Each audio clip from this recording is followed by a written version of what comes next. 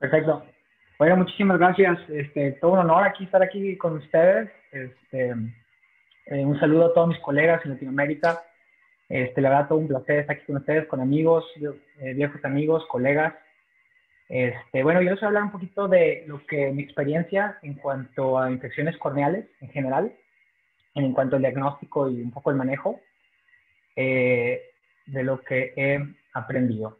Entonces, muchos de nosotros hemos eh, pues, luchado contra estas infecciones tremendas que son este, una pesadilla. Como pueden ver, una infección aquí severa es un paciente en el cual fue por acantamueva, difícil diagnóstico, eh, que terminó mucho, tardó mucho en, comenzar el tratamiento, está con tratamiento de esteroide tópico, este, y en el momento que empezamos a reducirlo, se perfora, Entonces, tenemos que, o sea, la razón de todo esto es evitar que pase esto para que, eh, para evitar un trasplante urgente, ¿no?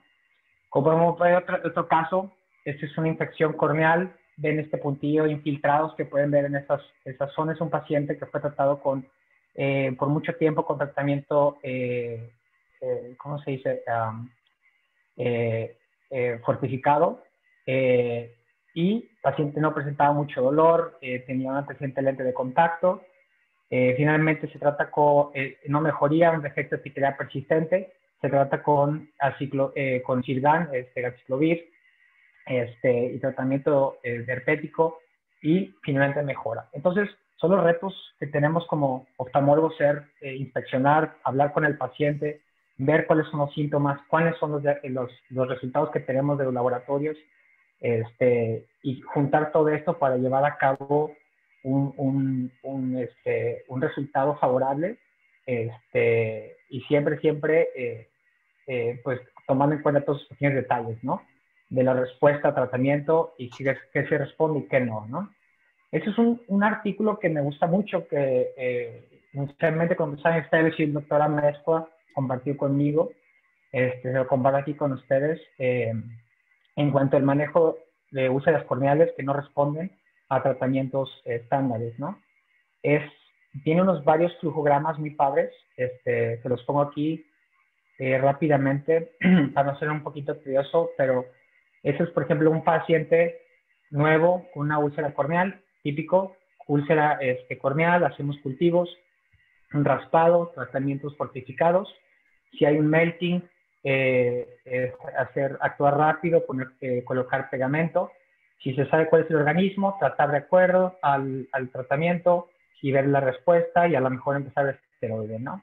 Si no mejora, hay serie de preguntas, si lo está haciendo bien, que será, el, el, será contaminado el cultivo, volver a raspar, sexual de sensibilidad, etcétera, ¿no? Aquí está. Y bueno, si hay una progresión, hay varias opciones que les voy a hablar más adelante. Este, y si no hay respuesta, posiblemente considerar una biopsia corneal este, en la lámpara hendidura, una sutura y, y, ver qué organismos podemos encontrar, ¿no? No está respondiendo. Ya. Este es un flujograma, otro ejemplo, paciente que no que recibido, que no, no, no, está respondiendo al tratamiento que, que llega con nosotros, del, del médico tratante. Eh, valorar si eh, la, la, la, está estable, considerar hacer otro segundo cultivo, hacer un washout period, ¿no? Este, hacer otros estudios como el confocal, si está disponible, y pues si no está eh, estable y no hay mejora, considerar un steroid challenge. Puede ser este, que por si es hongo, pues va a empeorar, y si era bacteria no, depende de la bacteria, puede mejorar, ¿no? O considerar eh, cross-linking o trasplante corneal si hay una progresión muy rápida, hay que actuar este, inmediatamente, empezar con fortificados, considerar hacer una biopsia urgente y considerar hacer un esteroide eh, trial o, o este, cross-linking o trasplante corneal. Como ya saben, varias bacterias en el Scott trial este, no se recomienda este, el uso de esteroide, como el hongo, que había comentado, la nocardia y micobacteria. Este, ese es otro flujograma que me gusta mucho uh, de tratamiento de hongo. Eh, ya que nosotros vemos mucho hongo, entonces este, lo hace las cosas más fácil, ¿no? Seguir algún, eh, eh, algo que ya se ha hecho, que está comprobado que funciona, como este artículo de Sharma, en cuanto si, la, si la infección corneal es pequeña, comenzar con atamicina, como vamos a ver generalmente pues, pacientes con fusarium, por ejemplo, este, si sí responde, continuar con natamicina, si no responde, considerar borconazol, este, que es controversial, si funciona o no, dependiendo del hongo. Si hay hipopio, considerar intracamerales como anfotericina. Si es muy grande el infiltrado, eh, considerar sistémico este, y más la natamicina. Y si pobre respuesta, dependiendo qué tanto esté involucrado, ¿no? Si es hipopio, no hipopio, considerar intrastromales, ¿no? Ya sabemos, hay tratamientos sistémicos, hay que tener cuidado con los efectos secundarios. Eh, inyecciones intrastromales eh, se consideran no beneficios en los filamentosos severos, este, pero yo, yo pienso que en varios casos sí puede ayudar, ¿no? Pero de manejo eh, este, de inicio no, no, se encontró nada en beneficio. tenemos estas herramientas que voy a empezar, tenemos aquí ya nuestras herramientas para que tenemos que opciones para todo tipo de infecciones. Tenemos, empezando por la biopsia o la sutura eh, corneal, eh, que en varias ocasiones a mí me ayudaba mucho, eh, en especial la biopsia corneal. Esto vamos a ver un, un, video compartido el doctor Amezcua, en cuanto vemos aquí la sutura, uh, uh, ¿cómo se dice? de seda, seis ceros, se pasa en casos de, infecciones muy profundas, este, eh, pasar varias veces, una y otra vez, y, colocar lo que es en el plato, ¿no? Eh, la biopsia corneal, este, a veces los hago en, cirugía, a veces las hago en la lámpara en hendidura. Eh, como pueden ver, aquí tenemos, un, uh, ponemos el, el, bléfaro con una punto 12 este, y con un, um, una navaja, una, uh, yo uso un, uh, un crescent, puedes hacer, este, y la mitad de la córnea yo lo hago generalmente de 4 milímetros, este, y la mitad lo mando a, a patología y la mitad lo mando hacia eh, microbiología. Eh, eh, como pueden, nos puede ayudar a aumentar nuestra chance de encontrar algún organismo eh, histológico eh, en 10%, como pueden ver en este estudio, en 19% en microbiología, pero desgraciadamente en un 55% no vamos a encontrar nada en un cultivo. Esto lo hace más interesante, ¿no?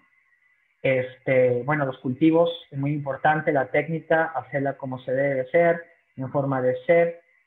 Este, yo siempre de inicio hago prácticamente todo, este es mi, eh, mi material de, de platos, que generalmente uso.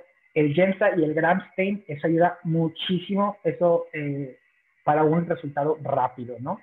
Eh, gracias a nosotros tenemos un, aquí a la doctora Dar, eh, Miller que nos puede ayudar y yo cuando tomaba la muestra corría al laboratorio, ya yo mismo hacía el Gemsa, le ponía los, los, las sustancias o el gram y lo veía al microscopio y veía si era hongo, no era hongo.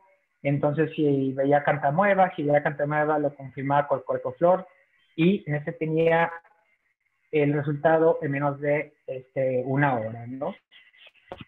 A veces no encontraba nada, eh, este, o a veces me esperaba que algún profesional lo interpretara, ¿no? Porque a veces es difícil, ¿no? Este, para cantamuevas, saburó, chocolate, este, los Jensen, también en organismos este, típicos, eh, el PCR. Les voy a poner aquí un ejemplo, un paciente. Eh, es una paciente femenina de 65 años de edad, eh, eh, tratada, médico, este, con cultivos negativos, este, tratada con fortificados.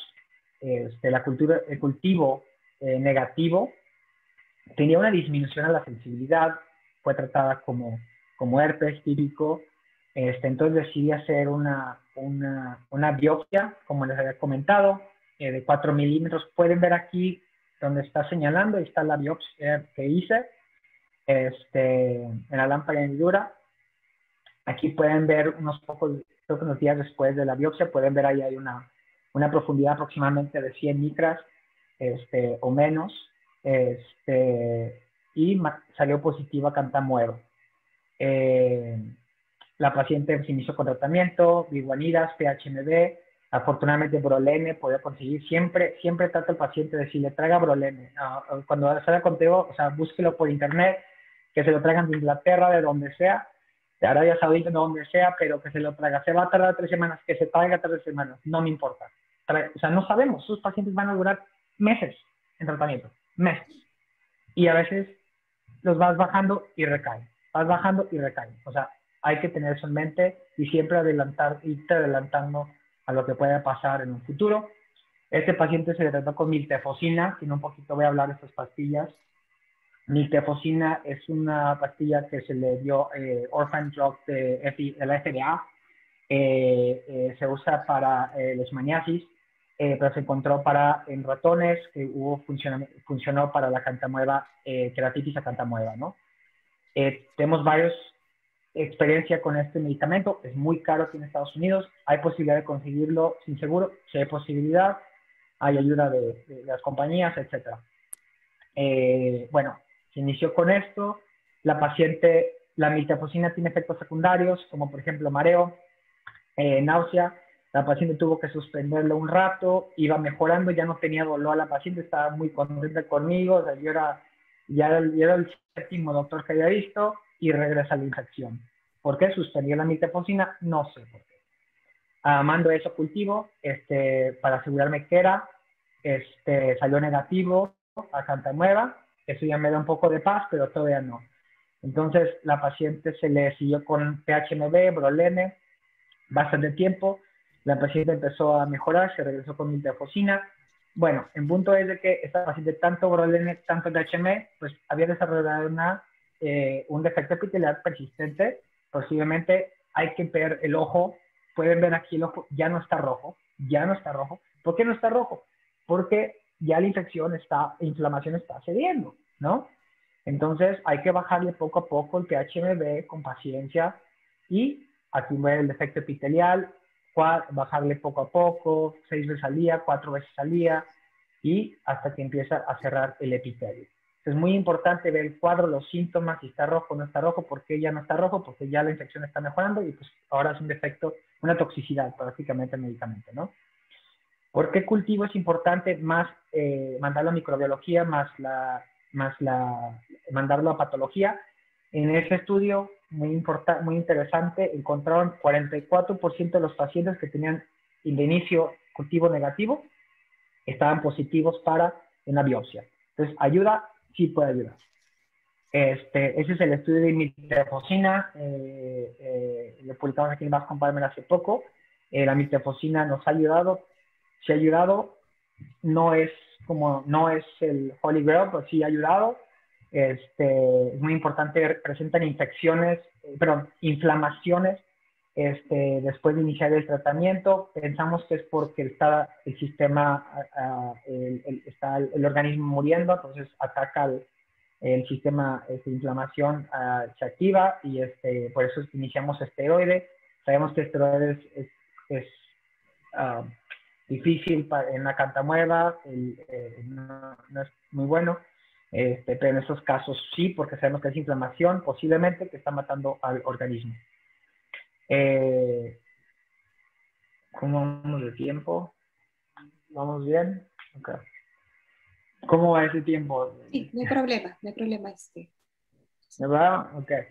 Eh, el, el, el cianoacrilato, el, eh, el FLAC conjuntival, crosslinking o PDT, PDTA rosa de bengala, es mi, mi bandera amarilla aquí, eh, de bandera amarilla, eh, que nos puede salvar muchas veces. Este es un paciente, eh, un caso muy interesante de 40 años, eh, trabajaba este, eh, en, su, bodega, tierra le cayó al ojo, entonces lo trataron como tratamiento de fortificados, este, salió positivo un organismo que ni conocían, tuve que este, googlear, Singomona osimobilis, entonces no respondía a tratamiento. ¿Qué es esto? segundo cultivo, aspergillus, ¿no? Este, se inicia tratamiento con aspergilos, como pueden ver el hipócrino ya está aumentando, ya está empezando a ver un melting por ahí que no nos está gustando eh, y posiblemente una posible perforación, este, si no se hace actuar rápidamente. ¿Qué hicimos? Este, un flap conjuntival, ¿no? Eso nos ayuda este, en cuanto eh, a, eh, junto con crioterapia, este, desepitalizamos esa zona, eh, este, quitamos lo que más podemos infiltrado y hacemos el avance conjuntival hacia esa zona, eh, posteriormente a, crioterapia, ¿no? Si es un caso, este, rápidamente, pues con el nylon 10-0 se sutura con mucho cuidado, ya que esa zona está friable, ¿no? La córnea, entonces es, es, complicado suturar esa zona, pero eh, es muy importante suturarla muy bien, ¿no? Ese siete días después de la cirugía, el paciente eh, no presentaba dolor. Aquí está la, el OCT de esa zona, donde está el, el flap conjuntival. Vemos que hay como, ya no hay un proceso de melting en esa zona, como está bien estable la conjuntiva, es muy importante que esté bien adherido hacia el estroma. Ese es el, el flap conjuntival siete meses después, si el paciente perdió seguimiento este, por COVID y este, regresa, este, se les sus suturas y esto es el resultado, ¿no? Y ahora aquí podemos ver opciones como mejorar la visión, a lo mejor un lente escleral, no sé, vamos a ver poco a poco, ¿no? Entonces antes, esto es después. El aspergilo es un organismo difícil de matar, entonces eso es un muy buen resultado, ¿no? La conjuntival es una muy buena opción, se ha escrito desde hace muchos años por el doctor Gunderson, este, lo usaba antes este, para infecciones este, herpéticas, eh, serie de casos más recientes, en casos específicos es, eh, eh, eh, sí ayuda. Este, no en todos, ¿verdad? Pero sí ayuda.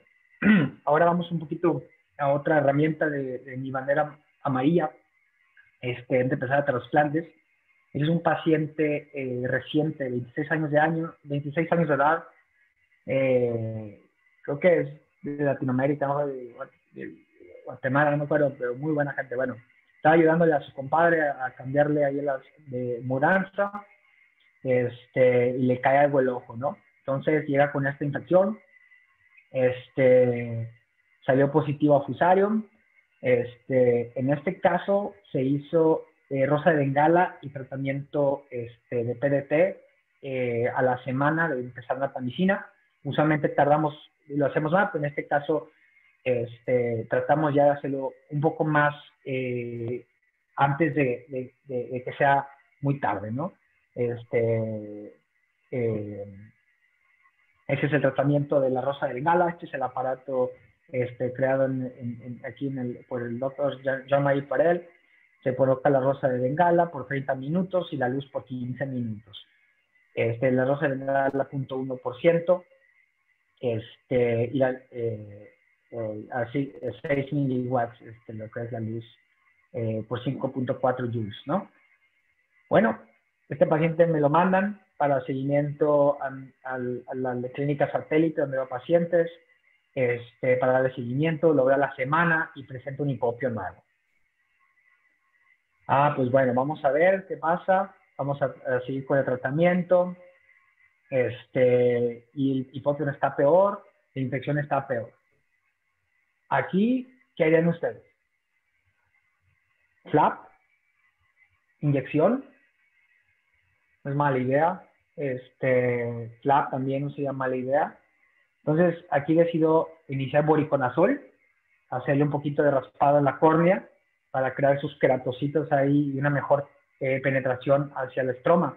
Porque la natamicina una vez no penetra, ¿no? Entonces hay que darle al, a los, al medicamento y a la semana resuelve esa, es, eh, eh empieza a mejorar, los vasos empiezan a crecer hacia el, hacia, hacia el, hacia, hacia el infiltrado. Esto me da más calma, ¿no?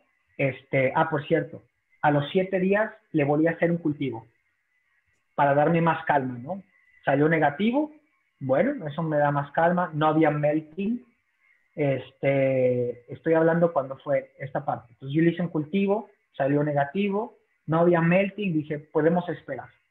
Es difícil, estamos, esto es como que no hay ciencia perfecta, desgraciadamente, pero, pero bueno, a veces se arriesga y a veces se gana, a veces no. Este, vemos vasos en este momento, eso es como aproximadamente tres semanas.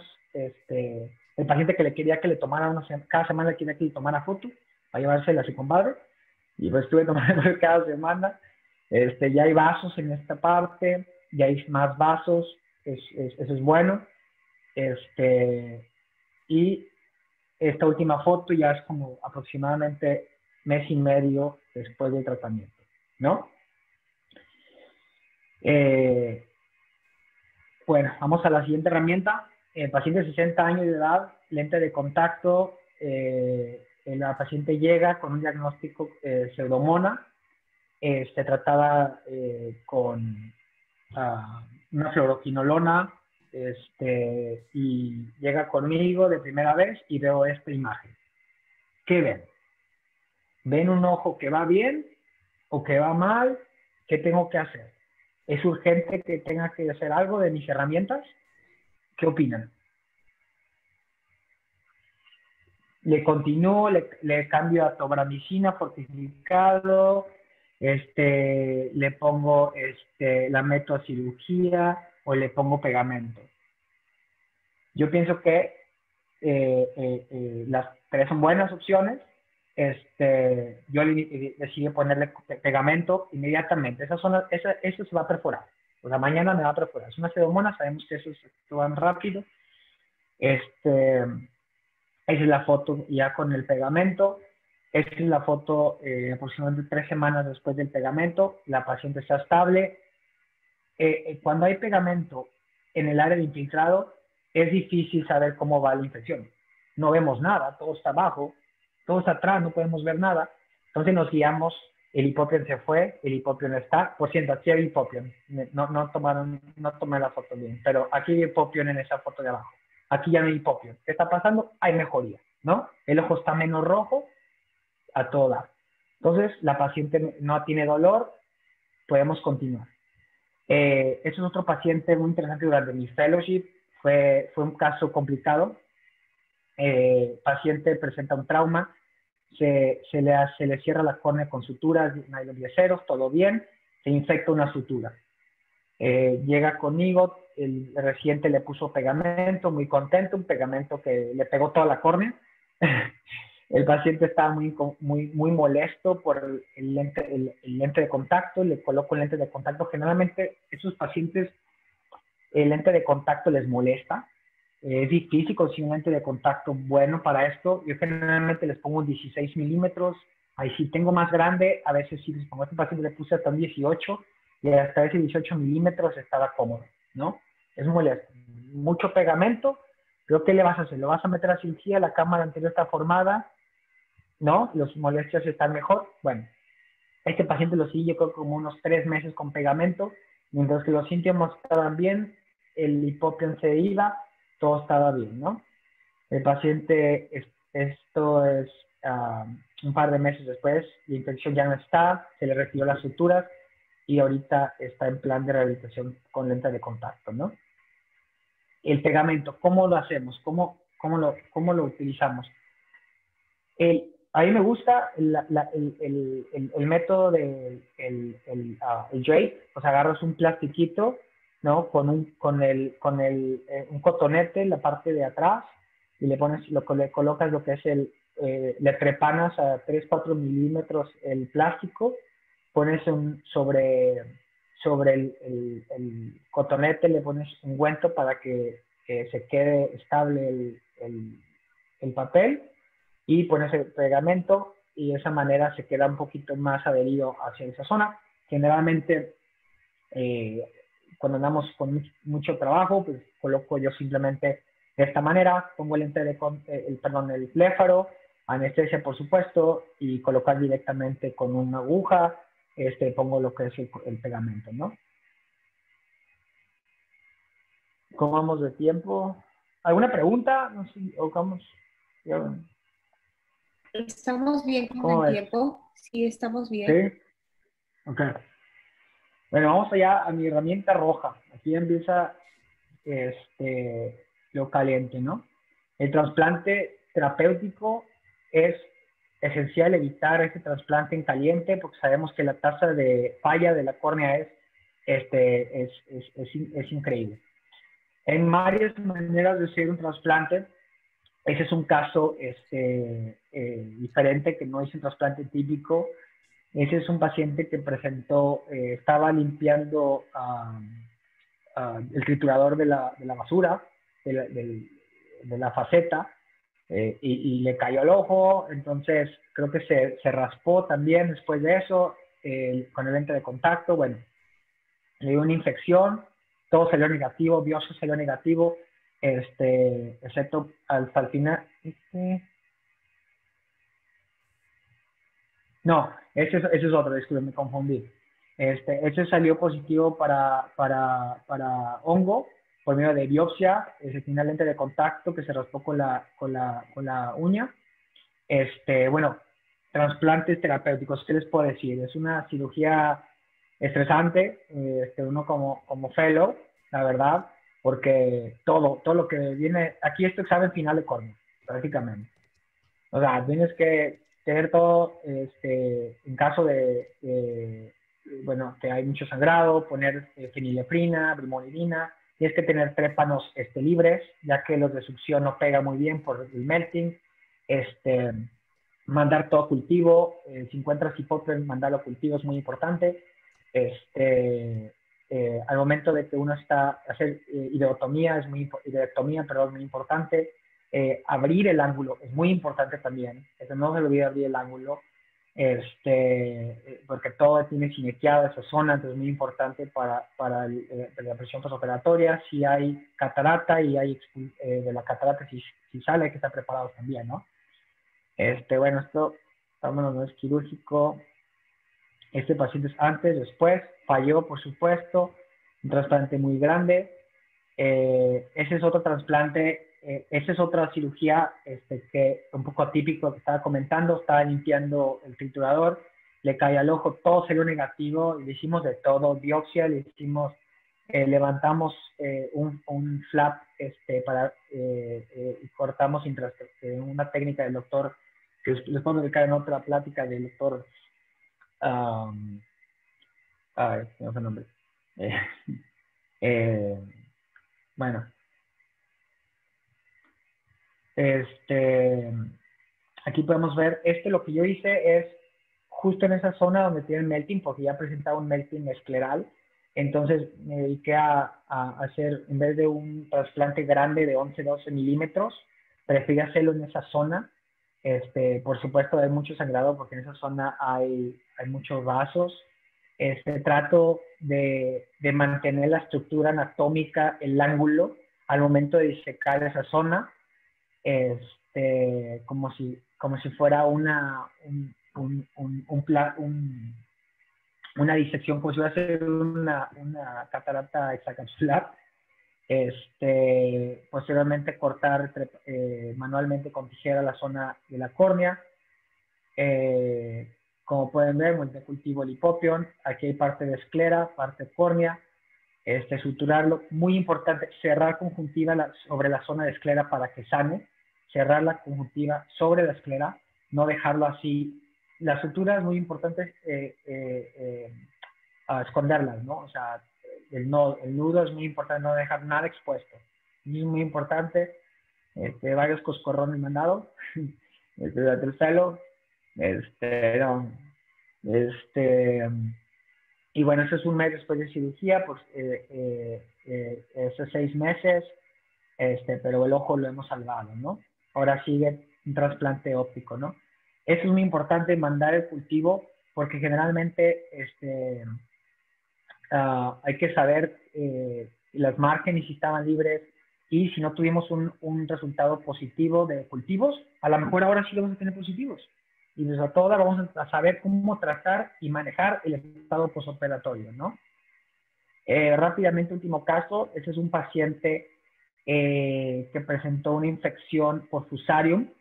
Eh, se le hizo un trasplante enorme, como pueden ver, este, de 12 milímetros. Y el paciente duró con atamicina eh, mucho tiempo, creo que un mes o seis semanas después del trasplante. Y en el momento que empezó, lo suspendieron. Estaba muy bien, no tenía un, un, un, IPEMA, pero no había infección evidente, lo que es eh, recurrente en, en el trasplante. Y una vez que lo suspendimos, a los ocho semanas volvió a regresar con una infección, como pueden ver. Entonces, como esto, este, aprendí de que cualquier trasplante que lo hagan en caliente, hay que darle un seguimiento. Si vamos a suspender el, el, el tratamiento este, postoperatorio, hay que volver a hay que, hay que darle un seguimiento estrecho, ¿no? Se le volvió a regresar la natamicina y la infección se dio, ¿no? Hay un estudio muy importante en recurrencias infecciosas después de, de, queratoplastia y hay factores de riesgo como el graft size, ¿no? Que es eh, para infecciones postoperatorias. Eh, ¿Cómo vamos de tiempo? Pues ya.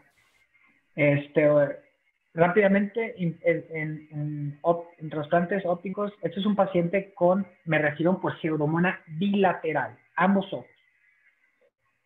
Para decirte, este, aparentemente sana, este, aquí se debe sospechar algún sistema inmunológico bilateral, es, muy raro. Este paciente eh, empezó a mejorar con tratamiento tópico, sistémico, esteroide, presentó eh, una, ah, un defecto epitelial persistente, le hice una tarsografía bilateral, porque por más que quería no cerrar el epitelio, no cerrar el epitelio, entonces hay que actuar rápido antes de que se infecte. Esto se puede infectar, si se infectó con los dos ojos, que no se vaya a volver a infectar, es muy probable. Entonces, esto ya es cuando ya cerró, eh, le hice un, un, un que el paciente está muy contento. Entonces, como conclusión, eh, eh, siempre hay que usar todas nuestras herramientas, biopsias, suturas, buscar alguna respuesta. Este flap conjuntival puede ser una ayuda este, en casos de no tener los recursos este, y, tener antes de que sea muy tarde, eso es muy importante, antes de que se empiece a la esclera a, a, a estar afectada. Eh, trasplantes terapéuticos de urgencia, eh, tratar de evitarlos. Eh, nos ayuda mucho mandar los cultivos este, de la, del trasplante que vayamos a quitar, o sea, de infección en, el, el, caliente, mandar a cultivo nosotros mandamos la mitad a cultivo y la mitad a patología. Este, eso nos puede ayudar a encontrar un, diagnóstico.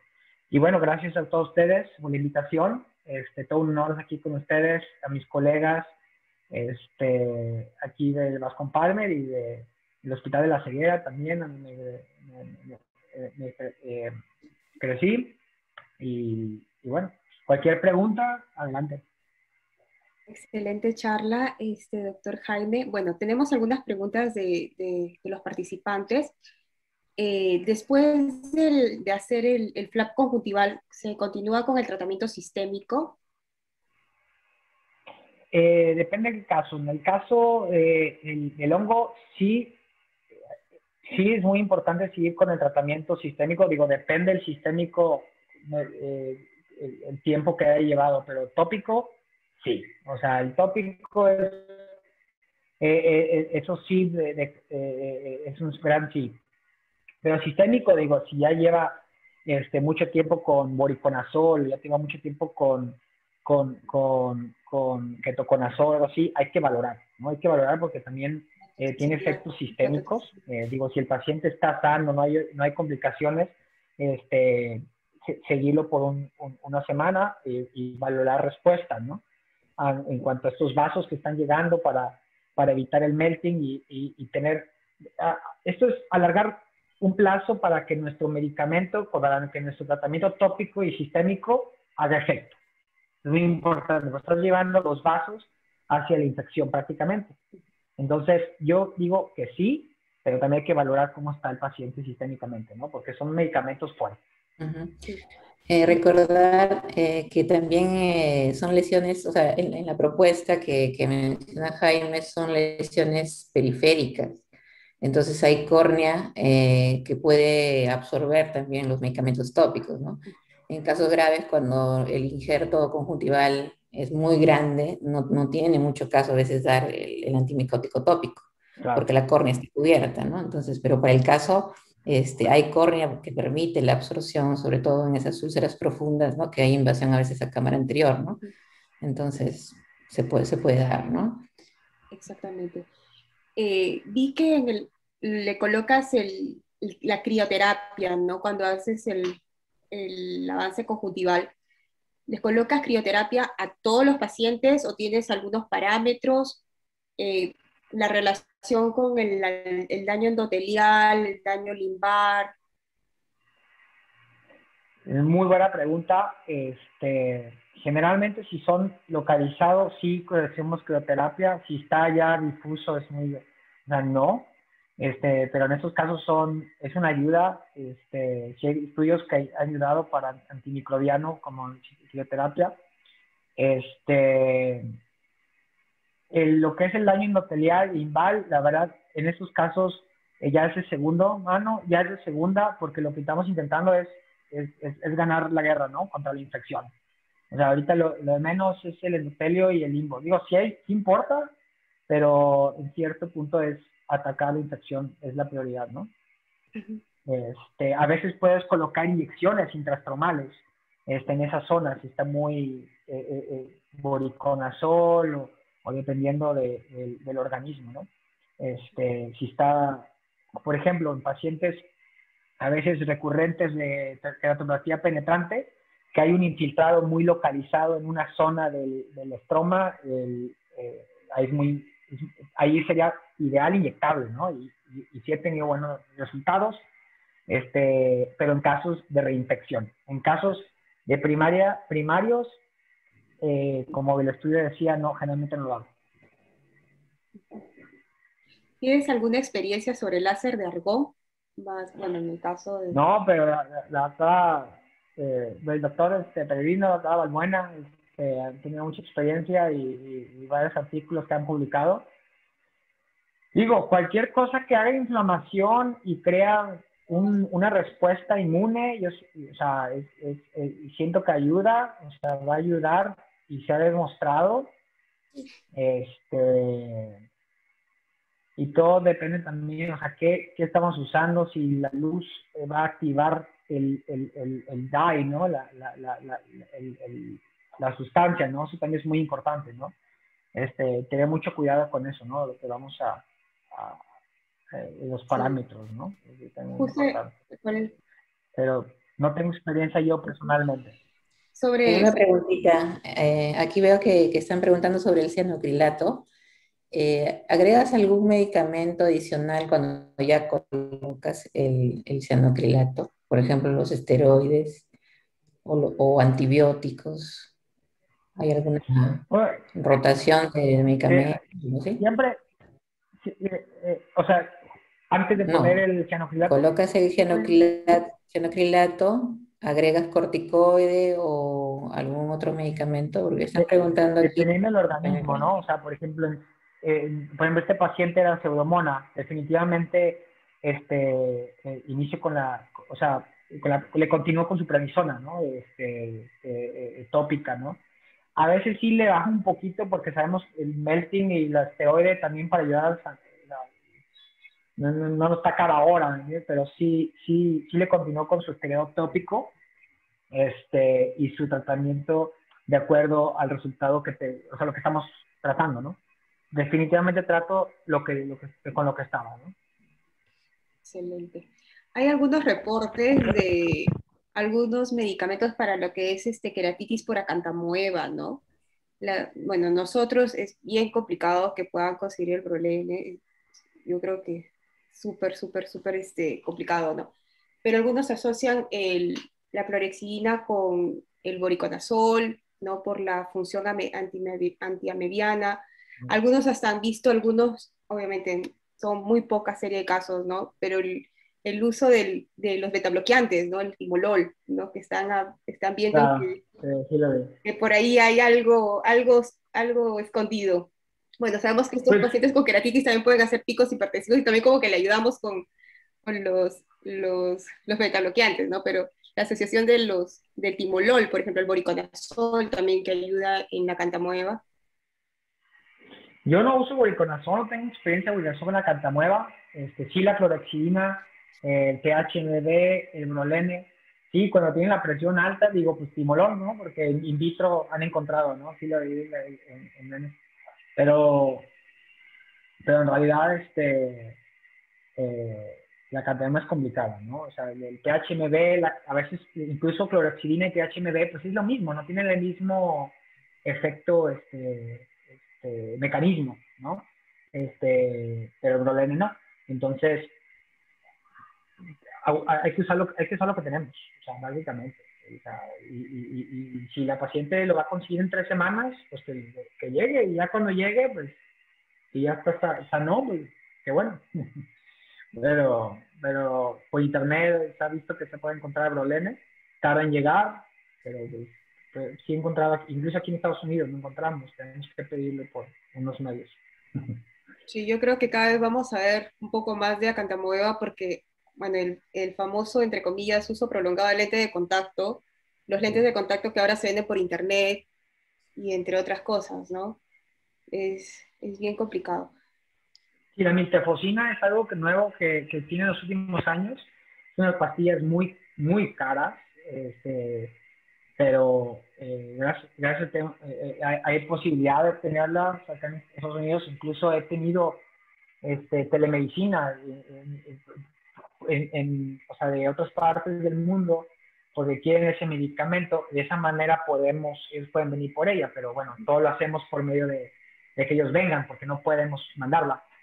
Entonces, este, la mitafosina es, es, eh, hemos tenido buenos, buenos resultados, digo, no excelentes todos, no 100%, pero sí nos ha ayudado, sacado de algunos apuros, ¿no? Y la rosa de Bengala, también es otra herramienta, la cantamos en el artículo del EGO, el 75%, tenemos yo creo que ya 30, más de 30 casos, 35 creo que ya ahorita, de, de Acantamueva, con menos 75-80% de, de, de, doctora Mestre puede platicar más al respecto, pero sí, sí tenemos buenos resultados. Bueno, como estábamos hablando hace, antes de empezar, ¿no? en nuestra zona hay mucha, muchas queratitis micóticas, ¿no? ¿Cuáles son tus parámetros que dices, ese paciente tiene mal pronóstico, vamos a hacer un recubrimiento conjuntival ya?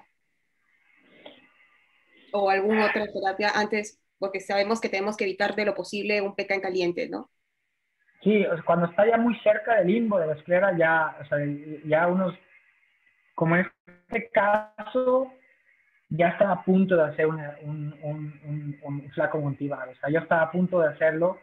Este, le di chance, me arriesgué, sí, me arriesgué la verdad, pero sabía que como ya había tenido cross-linking, ya había tenido este, el melting no se veía, porque todo el, la rosa de bengala y PET hemos visto que ahí el estroma se, se, se compacta.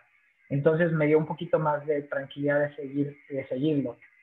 Yo digo que eso ayudó también el efecto antimicrobiano de la rosa bengala, pero sí cuando está muy cerca de la esclera, cuando hay mucho melting, cuando eh, eh, el dolor, la presión, o sea, también todos esos factores contribuyen este, a, a, a, tomar eh, mis, mis, cartas rojas.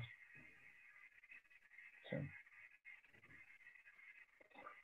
Una pregunta. paciente, este, este en, el tratamiento de la terapia, fotodinámica, ¿han visto si es que el resultado de inhibir, digamos, la, la lisis corneal también impide la absorción o retrasa un poco la biodisponibilidad de los medicamentos? ¿O creen ustedes que no, no es un factor a considerar? Yo digo que no, o sea, es una buena pregunta y es difícil de contestar porque en cuanto a estudios, eh, hacer, replicar eso es, es complicado, ¿no? Eh, primero, simplemente el, el estudio que se hizo hace mucho tiempo en conejos para onco, es muy difícil hacer un estudio en conejos, por ejemplo, de, para hongo. Primero, para infectar un conejo es muy difícil. Para ver, o sea, y para ver si hay penetración, hay penetración con una infección, es más difícil, ¿no?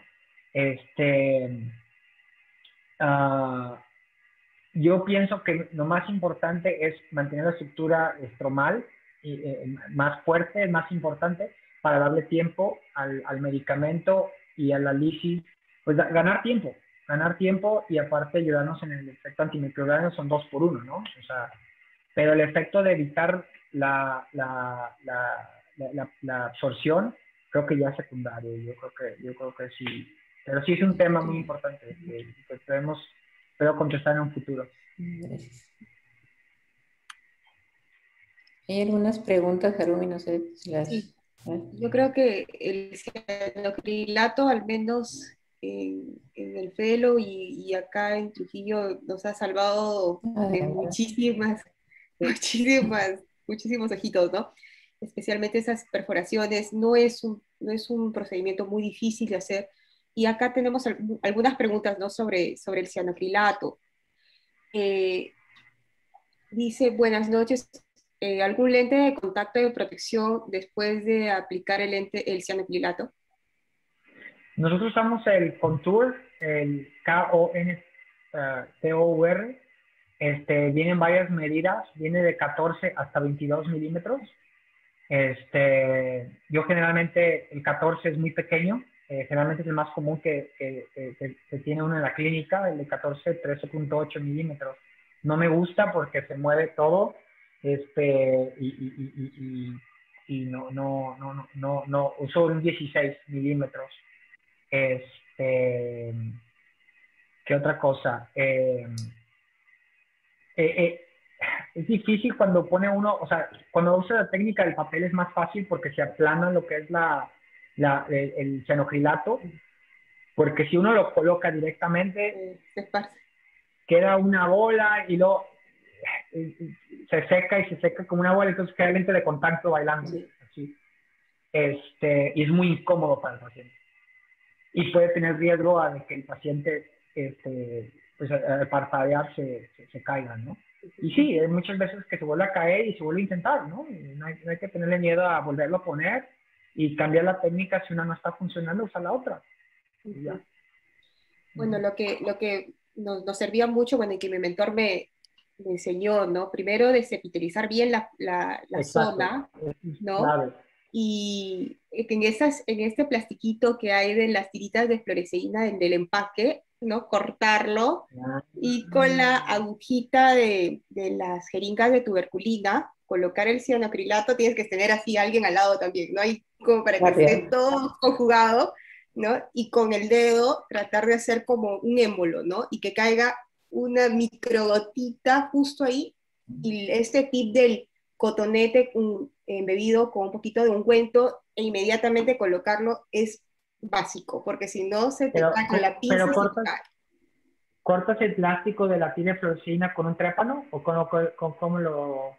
Bueno, en Latinoamérica con una Westcott nada más, bastante bien, ¿no? Y o sea, con agarra con la pinzita, ¿no? Eh, se coloca el, atajas el, el plastiquito, ¿no? Y lo colocas en el cotonete tal cual, ¿no? Con un poquito de ungüento se coloca el plastiquito y el cianocrilato se coloca en la, en la agujita de, de, la jeringa de tuberculina y en vez de que caiga, o sea, directo el cianocrilato al plástico, sino con el dedo, trata de hacerlo como un impulso para que caiga una gotita, una microgotita e inmediatamente colocar.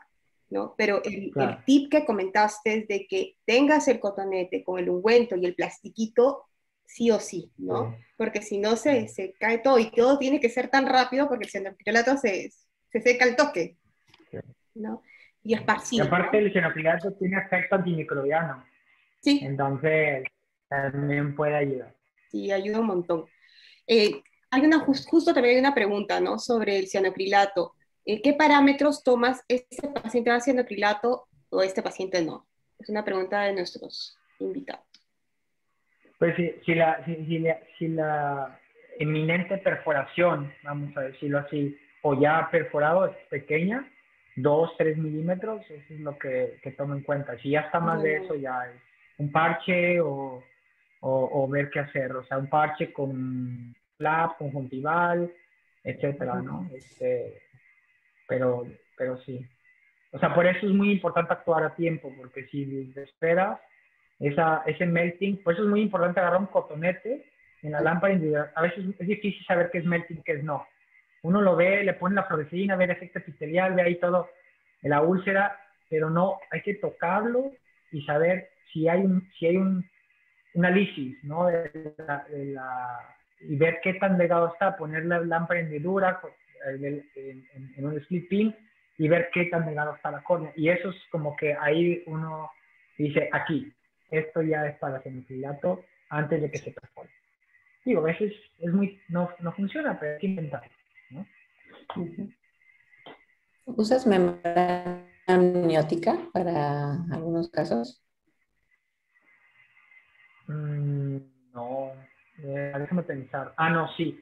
Cuando, por ejemplo, en pacientes lo usamos cuando, cuando hay un, hemos estado como en casos de pseudomona, me ha tocado que tienen escleritis, que tienen un melting escleral, en el cual, eh, en el cual, ah, o sea, lo que tenemos que hacer es entrar, ¿no? Y limpiar toda esa zona. Por ejemplo, este, inyectar antibióticos, etcétera, irrigar este, en esa zona este, reforzamos con, con, con, con membrana miótica. Si hay casos en, en, en, infecciones, incluso que hemos hecho con, hemos colocado membranas amnióticas en casos de sí, ahora sí que me, acuerdo, ya tiene tiempo, pero sí. Sí, membrana amniótica es, es criopreservada. Usamos criopreservada este, eh, amplia, ¿no? Toda esa zona que, que, estamos viendo que hay una lisis en la esclera o incluso en la córnea, eh, pero, no, pero realmente en casos que, como por ejemplo pseudomonas, ¿no? que, que, hay mucha lisis, este, eh, que sabemos que necesitamos eh, antiinflamatorios, necesitamos esteroides, necesitamos debilitar esa zona y inyectar este, intra subconjuntivales, este, sí, sí, sí he usado este, membrana este, criopreservada son de 5, no es grande, cubre toda la córnea un claro. Excelente. Pero, por ejemplo, en casos como de hongo, cosas así, o sea, no, sabemos que eso necesitamos tener medicamento, o sea, que ataque al hongo. Exacto no sé, Pati, este, no sé, no tenemos, no tenemos más preguntas sobre, sobre el, tema de, de, Jaime. Jaime, excelente ponencia. La verdad es que yo creo que el futuro va a ser el, Gracias. esa terapia fotodinámica. Ojalá salga la, la aprobación de la FDA pronto. Gracias, sí. Con la ayuda de todos y, el equipo. Sí, felicitaciones al equipo porque se necesita bastante investigación y ustedes lo hacen, ¿no? Por algo son el hospital número uno de ojos en Estados Unidos. Gracias, gracias. Muchísimas gracias. Ahora vamos a la ponencia del doctor Juan Carlos Serna. Juan Carlos, ahí está. Sí, listo. ¿Se ve? Vale, buenísimo. ¿Empiezo? Adelante. Vale, no, pues primero que nada, otra vez agradecerles eh, a, a Pat y a Rumi por la invitación. Encantado de estar aquí, encantado de estar con amigos. Por ahí ya otros amigos, vi a Vane, vi a, Pilar, pues encantado de estar compartiendo un ratito con ustedes. Eh, mi plática está enfocada en, la cuestión de la queratitis herpética. Eh, además de un, muy, muy breve resumen, que sé que, es algo que ya la mayoría domina, eh, sí quiero enfocarme mucho en, qué nos dice la evidencia, ¿no? Porque recordar que, pues parte de los objetivos que tenemos que tener es, es trabajar eh, basados en medicina basada en la evidencia. Eh, a manera de introducción, bueno, recordar que el, herpes virus es un DNA doble cadena y que hoy por hoy pues, los, humanos somos los grandes reservorios, ¿no? Recordar que hay varias, varias, varios virus que entran dentro de esta familia, herpes tipo 1, tipo 2, el varicela zoster. Eh, y, esto aplica eh, fundamentalmente para muchos países, pero eh, principalmente para cuestiones de Latinoamérica. un gran, gran porcentaje de la población ha estado expuesta, ¿no? Hay, hay diversos estudios de epidemiología, hay, hay un estudio del doctor Pepose que me gusta mucho, en el cual habla de, del gran porcentaje de, de, la población que se ha estado expuesta, ¿no? Entonces, el hecho de, que, de que exista el, virus y es algo que transmito mucho a mis pacientes, pues no quiere decir necesariamente que, que haya algo malo en, el sistema, sino es la exposición a la que tenemos, ¿no? En algunas poblaciones eh, pues incluso por arriba de los 20 años, un gran porcentaje de la población está expuesta. Y hay estudios incluso que correlacionan eh, los, aquellos países que estamos un poco en, vías de desarrollo con una mayor eh, porcentaje de exposición en, la población. No, hay, no hay realmente una predilección por género, raza, geografía, pues le puede dar a todo el mundo. y es algo extremadamente frecuente, ¿no? Creo que es algo que nosotros vemos en nuestra consulta, sea cual sea el área en el que estemos eh, pues, de forma pues, eh, bastante frecuente. ¿Y por qué? Porque es importante, porque hoy por hoy el herpes sigue siendo una importante causa de discapacidad visual y ceguera corneal en, en el mundo. Eh, y bueno, al menos en América Latina podemos tener entre 70 y 300 mil casos nuevos cada año, los cuales estamos documentando, recordando ahorita que vamos a hablar de la, de la que muchos de los primeros casos incluso pasan desapercibidos.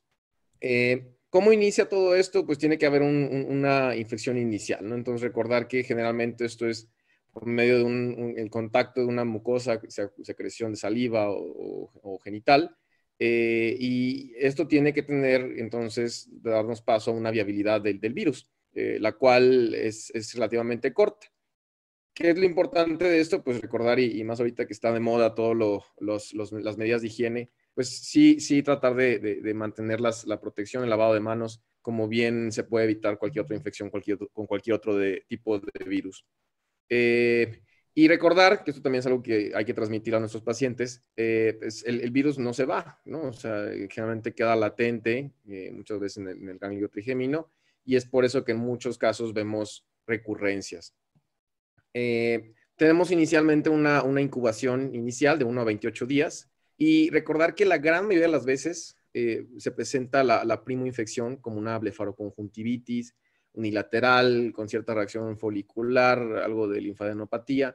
Por eso muchas veces queda, queda o pasa desapercibida o pasa diagnosticada como otro tipo de, infección viral, eh, un adenovirus o cualquier otro tipo de virus que pueda dar una, una reacción conjuntival como de este tipo.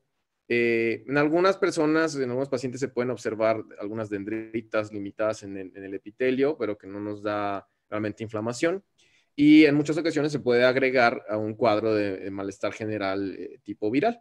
Por eso, un gran, gran porcentaje de estas infecciones pasan asintomáticas y un gran porcentaje no reciben un, adecuado diagnóstico.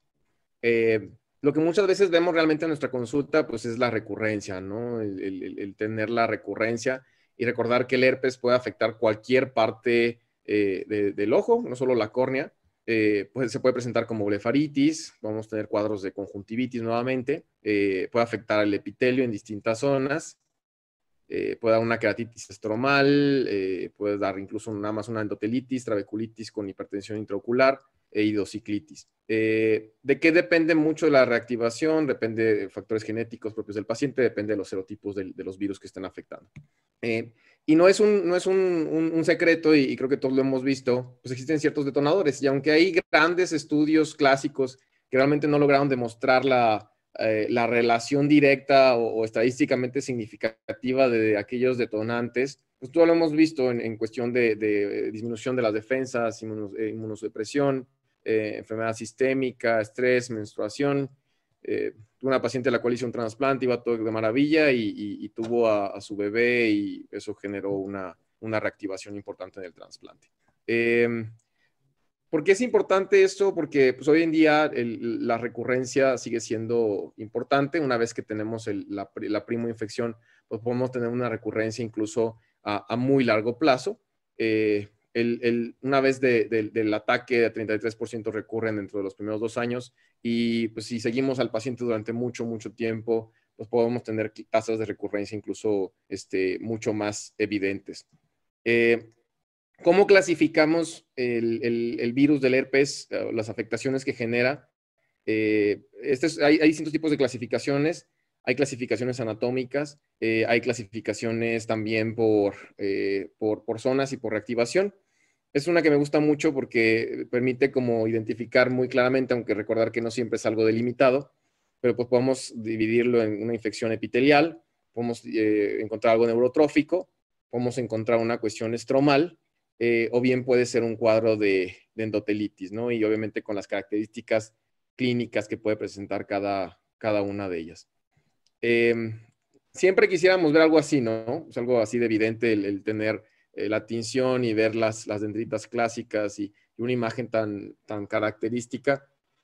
Eh, ustedes y yo sabemos que generalmente o, en muchas ocasiones esto no sucede, ¿no? O sea, podemos ver eh, el por qué es importante tanto la exploración clínica, pues la imagen clínica y la sospecha diagnóstica nos dan mucho del, del, diagnóstico y nos dan paso para el tratamiento. Eh, podemos ver también y siempre apoyarnos de, las, de nuestras distinciones, ¿no? Aquí la, la clínica es, es, es básica para, para, el diagnóstico. ¿Cuáles son las claves que yo pondría para, para el diagnóstico? Eh, número uno, la sospecha clínica. Eh, recordar, y bien importante, el análisis de la sensibilidad corneal, aunque no necesariamente es, es algo que es equiparable cuando ya hay cierto componente neurotrófico, cuando ya hay cierto, cierta afectación a los, a los nervios corneales, tenemos sensibilidad corneal disminuida, la presencia de un defecto epitelial, ¿no? Y muchas veces vemos defectos epiteliales persistentes que no sabemos ni por qué y se, se tratan y uno los trata como todo y, muchas veces eh, dejamos pasar el cuadro de sospecha de, la presencia de herpes, el apoyarnos de nuestras tinciones y el identificar bien la morfología, ¿no? Muchas veces, con todo y que a lo mejor no tenemos las características clásicas, sí podemos eh, identificar la diferencia entre cualquier otro tipo de patógeno. Em, las formas epiteliales pues son quizá de las, de las más clásicas y las que más, vemos. Eh, tenemos la presencia en muchas ocasiones de dendritas, eh, o bien podemos tener ya un patrón, eh, se llama geográfico, ¿no? Pues, el término precisamente es, es, por la característica tan clásica de, del patrón que forma. puede progresar incluso en algunas ocasiones a vesículas y, recordar pues que esto significa la presencia de bulbos terminales o, o la presencia de virus vivos. Eh, puede presentarse en ocasiones como una queratitis marginal, que puede mal diagnosticarse como un PUC, una queratitis ulcerativa periférica. Eh, y, y, ya propiamente para hablar de la, de la evidencia, ¿no? ¿Qué, ¿Qué, tratamientos tenemos disponibles? Eh, hay ya mucha evidencia, creo que el herpes eh, es de las, de las patologías que, por muchos he estudiado más en, la oftalmología. Eh, me, gusta mucho esta, este artículo de revisión sistemática Cochrane, eh, en el cual logró juntar muchísimos estudios y al final lo concluyó liberando o nada más analizando los ensayos clínicos con una, una potencia de, de, evidencia muy, muy alta.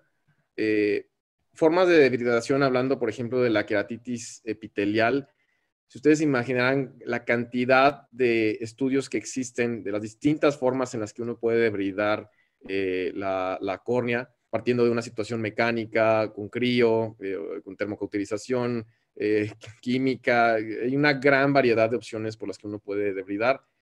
obviamente no hay, no hay un consenso ni, ni, una, un patrón establecido, hay distintos tipos de recomendaciones. Hay quien recomienda ir y debridar específicamente las lesiones cuando se trata de una cuestión epitelial.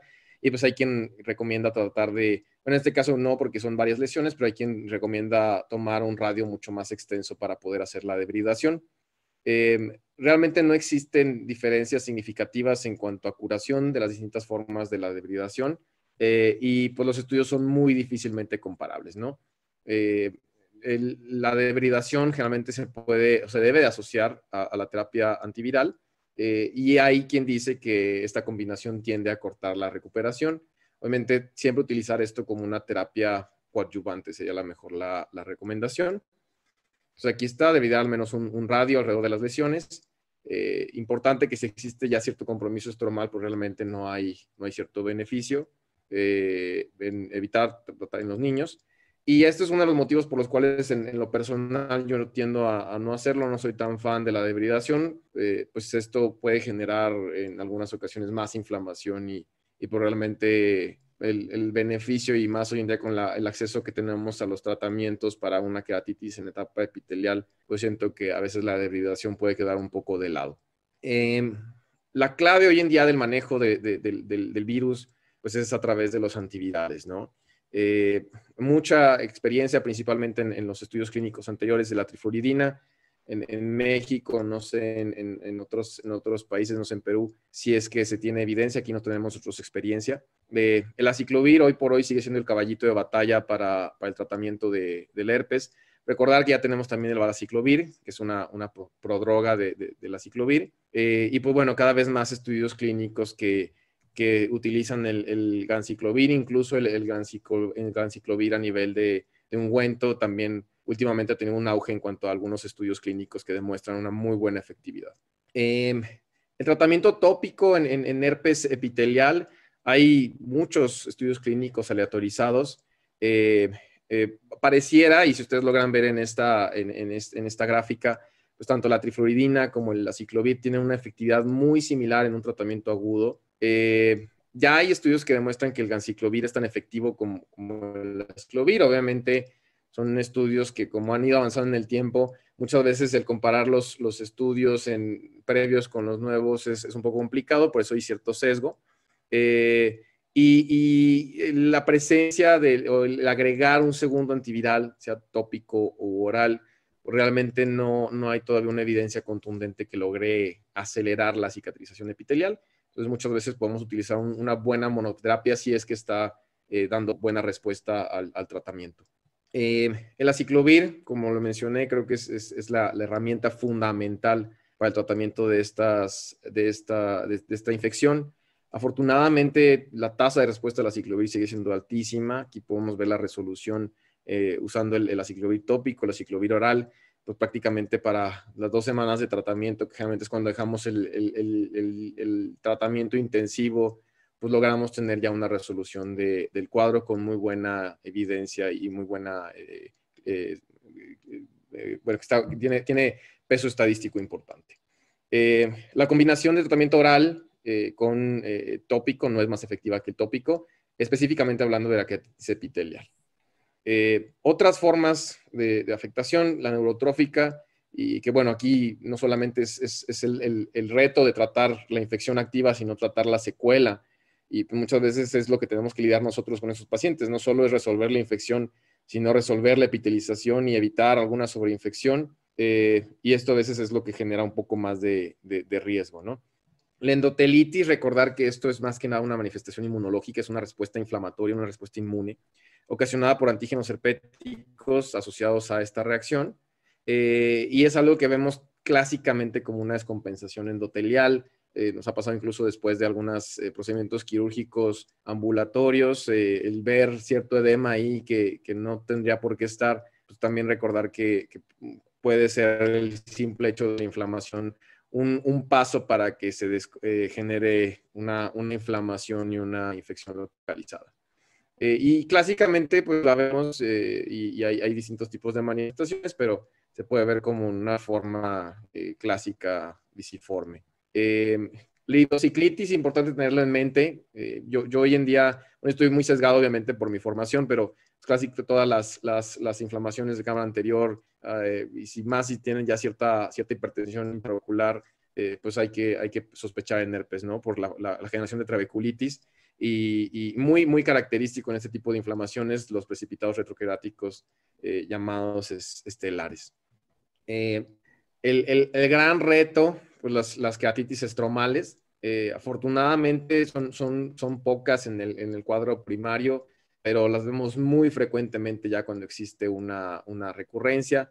Estas son las que generan ceguera, estas son las que generan opacidad corneal persistente. Muchas veces estas son las que llevan al paciente a la necesidad de, una terapia de rehabilitación posterior como un, trasplante. Este, podemos tener la queratitis estromal intersticial o bien cuando evoluciona un cuadro ya más severo como, típicamente necrotizante, ¿no? la queratitis necrotizante, también importante tenerla en mente y, muy asociado a la plática de, Jimmy que dio previamente. Eh, estas son de las cosas que también nos ponen a correr. Eh, afortunadamente es muy rara, pero esto habla de una invasión directa directamente al estroma y esto se caracteriza por necrosis, ulceración, eh, infiltrado inflamatorio, adelgazamiento y pues puede llevar incluso a la perforación, ¿no? Entonces, bien importante tener la sospecha clínica, indagar un poquito en, en, la evolución del paciente, en cómo fue el cuadro clínico, porque pues no, todo, es, no todo es hongo, no todo es eh, parásito, también el, herpes puede dar cuadros extremadamente graves, porque incluso nos hacen pensar que quién podrá defendernos, ¿no? la necesidad de, ya llevar al paciente a la mejor a un trasplante, sea lamelar o penetrante, algunas de las estrategias combinadas con, en, relación a la, plática que dio Jimmy, los colgajos, las membranas, realmente son cuadros ya más agresivos y que hay que tratarlos como, como tal. Eh, el efecto de, del, herpes, ¿no? Obviamente, y, platicando también en, comparación a cuando ya tenemos que someter a un paciente a un tratamiento quirúrgico, específicamente a un trasplante, eh, aquí la evidencia también nos dice que si podemos evitar realizar un trasplante en caliente, pues es lo ideal realmente el, realizar un trasplante eh, para un paciente con problema herpético activo, eh, pues yo prácticamente les digo que está muy destinado ya a la falla, ¿no? Eh, obviamente esto cuadra y, empeora todavía más el cuadro si, si tenemos eh, alguna perforación. Eh, pero bueno, realmente ya cuando el cuadro está más, más, más frío, ya existe nada más el, leucoma y ya sometemos a este paciente a un tratamiento quirúrgico, pues pueden ver en, esta curva de sobrevida cómo pues podemos tener incluso muy buenos resultados llevando al paciente por, por, por buen camino y, con el tratamiento adecuado. no olvidar y esto a lo mejor es, para concluir la, primera parte de la plática, el HEDS, ¿no? El, el, HEDS a veces tendemos a desestimarlo porque pues ya es un estudio ya medio viejito, eh, pero pues también recordar que fue de los primeros estudios clínicos en la oftalmología, no, no solo en córnea, sino en la oftalmología que, que nos permitió realizar estos análisis de forma de una, analizar una patología de forma de distintas eh, características. Entonces, eh, mucho de la evaluación que se hizo fue para evaluar el efecto de la ciclovir en, en las distintas formas de queratitis. Entonces se hizo a manera de ensayos clínicos. Eh, les, les planteo así las, las perlas realmente, porque también el HEDS es, algo extenso. El primer estudio buscó comparar eh, el, uso o el beneficio de aciclovir oral para pacientes que tenían queratitis estromal.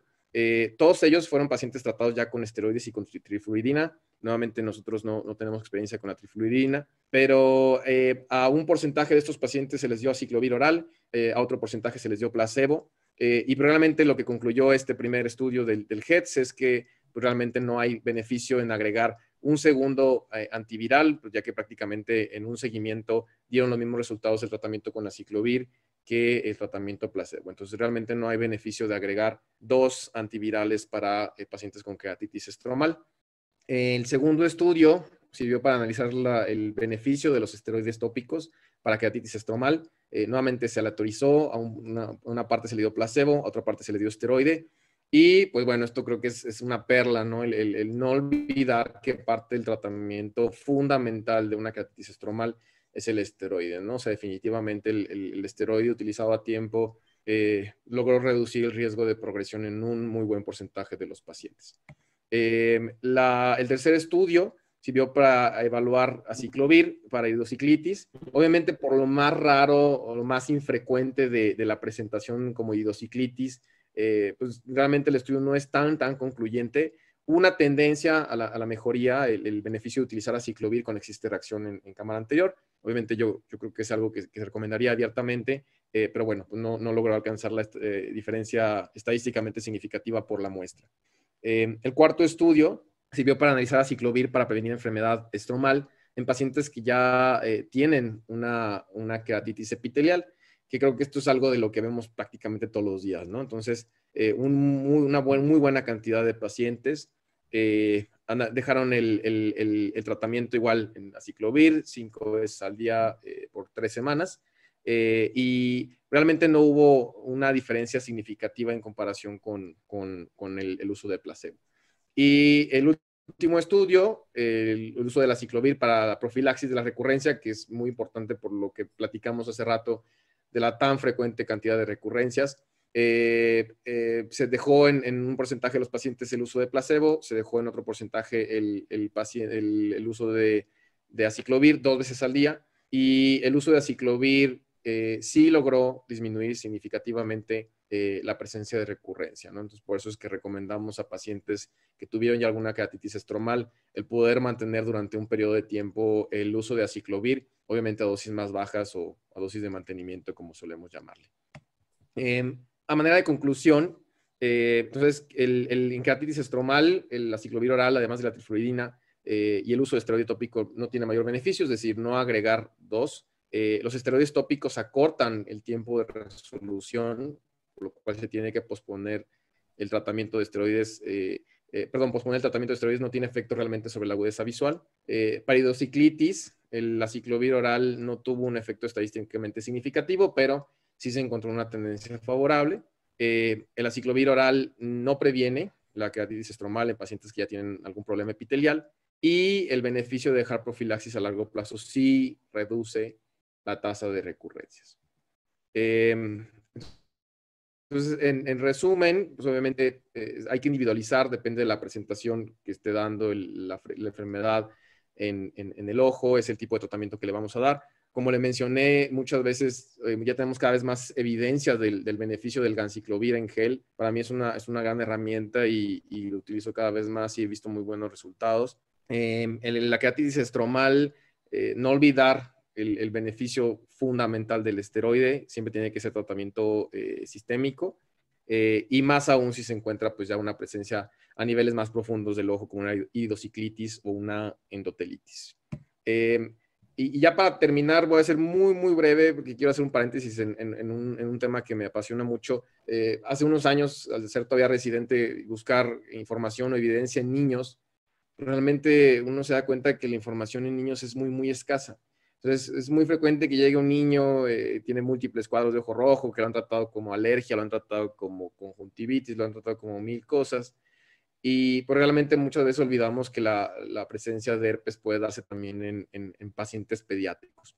Eh, quizá temas como cosas muy puntuales para recalcar en los niños.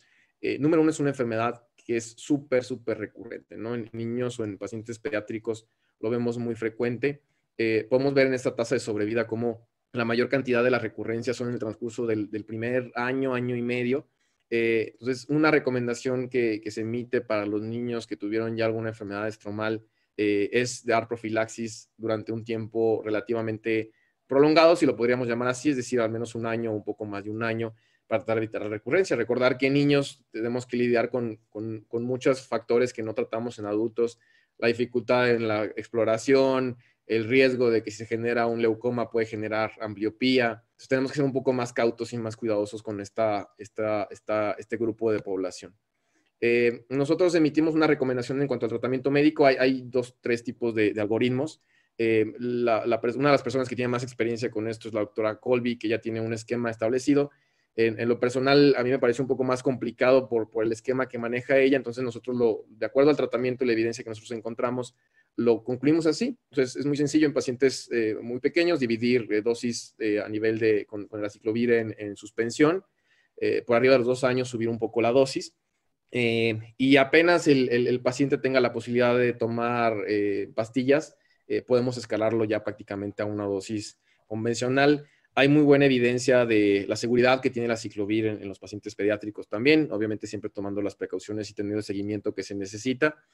Y otra de las perlas que nos enseña la doctora Colby es que eh, recordar que la dosis del niño no siempre es la misma. Entonces, eh, a lo mejor no, no, no, estimar el apoyo de nuestros amigos pediatras en el hecho de que conforme el paciente tiende a crecer, eh, también hay que en ocasiones ajustar la dosis. Ella reporta algunos casos en los cuales les inicia tratamiento, está estable y conforme el niño fue creciendo, pues la dosis se volvió insuficiente, entonces tú presenta una recurrencia a pesar de que estaba con el tratamiento. Eh, entonces, a, manera de conclusión, específicamente en el grupo de los niños, eh, la enfermedad ocular herpética en niños generalmente se diagnostica tarde o, diagnostica mal. Hay una gran eh, tasa de catis epitelial dendrítica e intersticial. hay un riesgo incrementado de recurrencia y pérdida visual por, por las complicaciones corneales o, por ambliopía. En esta, el único factor significativo para la recurrencia de la enfermedad fue la presencia de una queratitis dendrítica, es decir, los, los pacientes pediátricos eh, tienden a avanzar en ocasiones estromal. Eh, podemos también someter en ocasiones cuando amerita el, tratamiento con QPP, obviamente tomar los casos que sean indicados eh, y buscando evitar la progresión a, ambliopía. y el tratamiento con aciclovir para profilaxis debe considerarse en estos pacientes por un tiempo un poco más prolongado. Entonces, bueno, agradecerles mucho su atención. Les dejo mis datos de contacto y pues cualquier cosa estoy a la orden. Muchas gracias, Juan Carlos. Brillante exposición.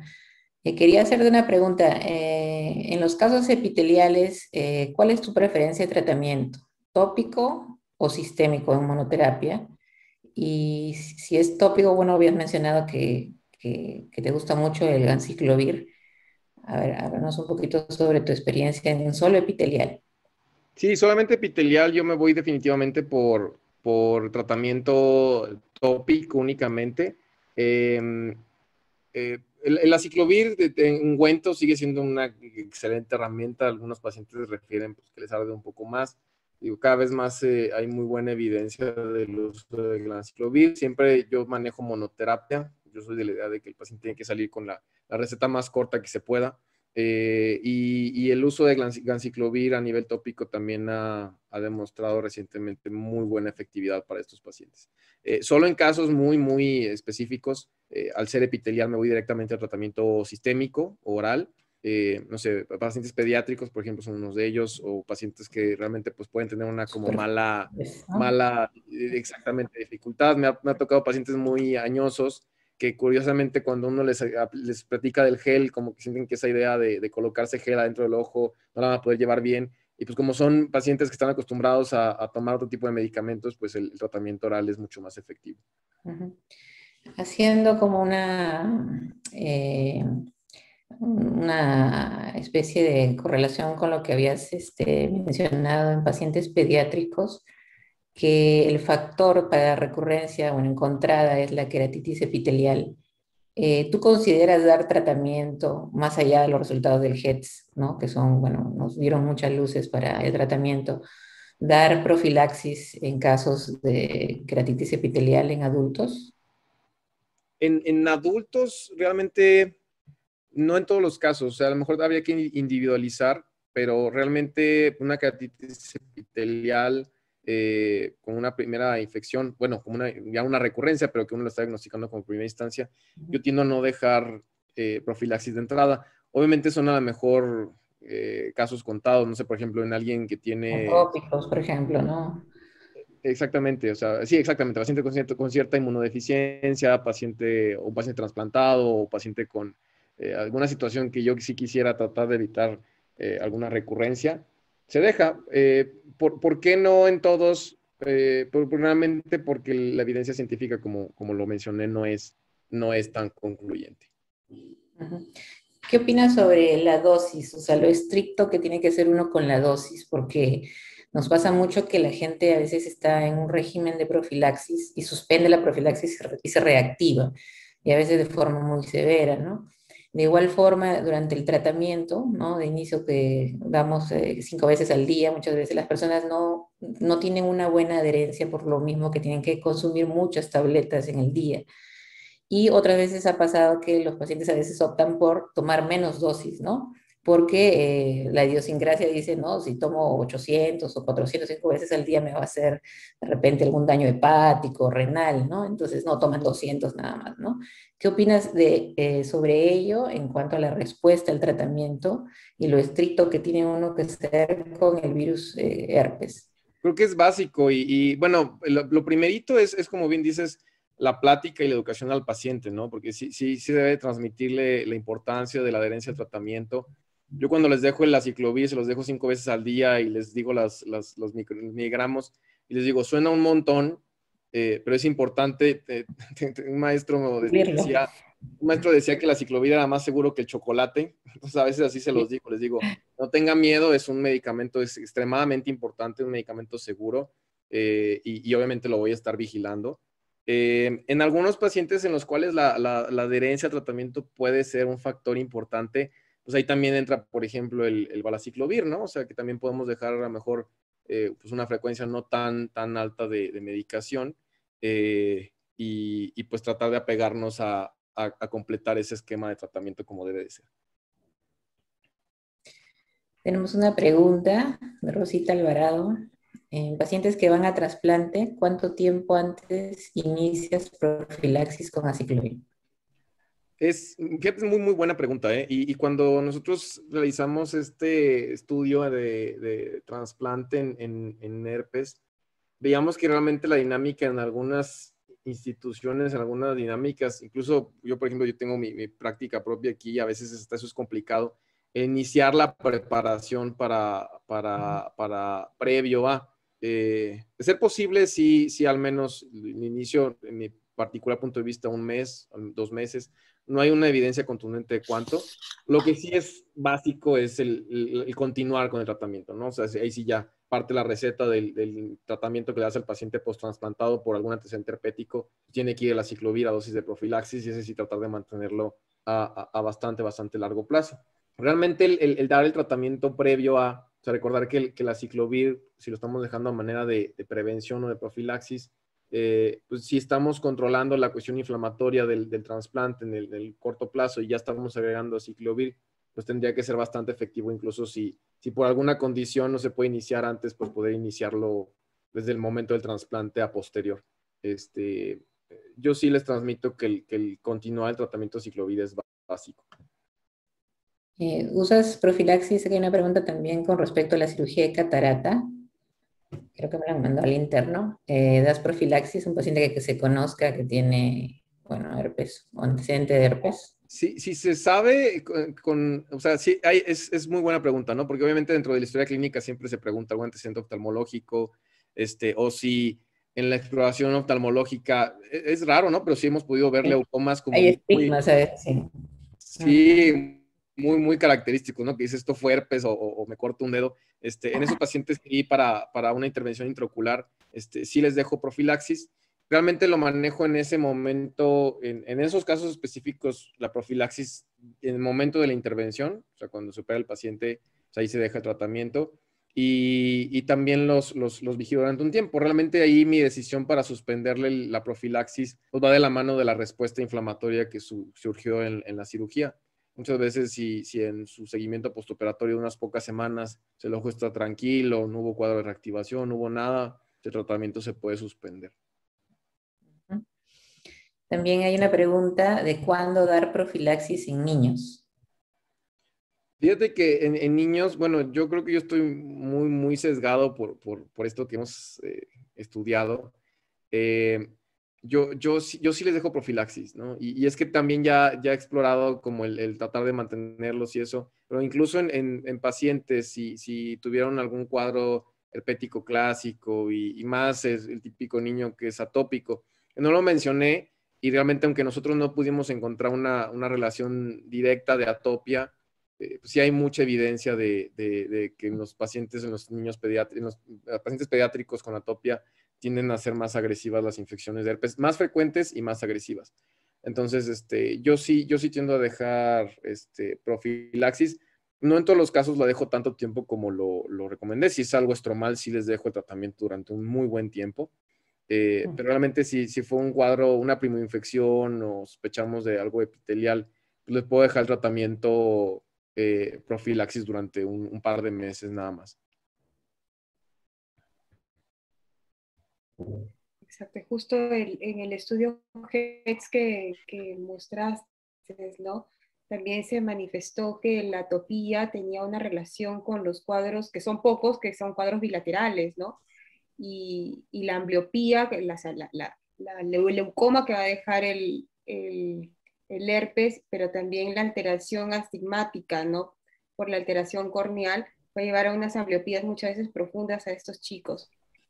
Eh, sobre el tema de la ciclovir en suspensión, ¿no? lo que comentaste es súper importante de trabajar de la mano con el pediatra, porque el, jarabe en suspensión ¿no? de aciclovir pues, tiene trazas de lactosa y muchos chicos son intolerantes a la, lactosa y la mami suspende el tratamiento.